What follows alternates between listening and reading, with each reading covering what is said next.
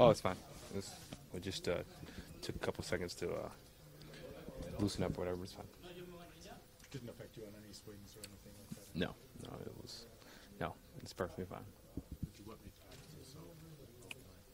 to? Um, throwing a lot of strikes. Uh, I mean, keeping it out of the middle of the plate, and even when it was, um, you know, he's got a good life on his fastball. So uh, you know, he pitched a pitched an amazing game.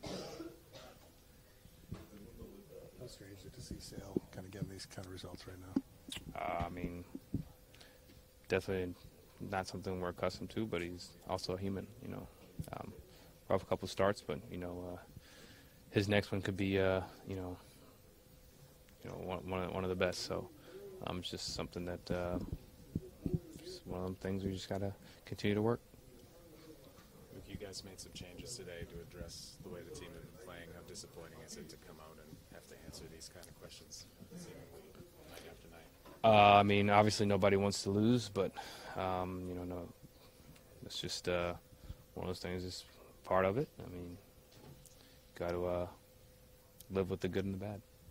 you're obviously, you know, you've, you've known Blake since you guys both came into pro ball. You know, how hard was it to see to see him leaving today?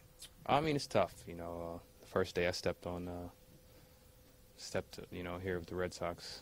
Um, you know, back in 2000, I think 11. You know, he was there, and now we've been uh, tight ever since. Um, it's definitely uh, tough, but you know, I'm uh, kind of happy for him. New beginning, and uh, hopefully he can go somewhere and play every day.